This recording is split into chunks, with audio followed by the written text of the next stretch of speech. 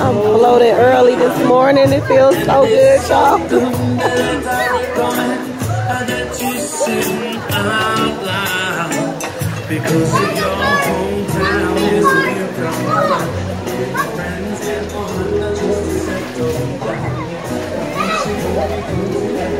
Jalen, bring me my Kool-Aid.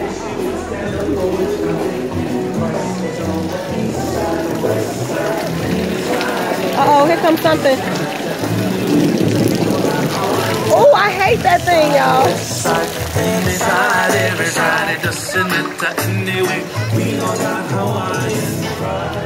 Ooh, this is beautiful.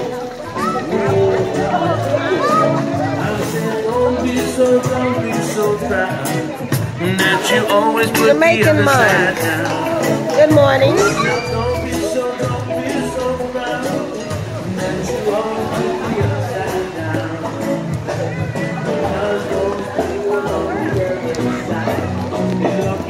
Ooh, oh my glasses.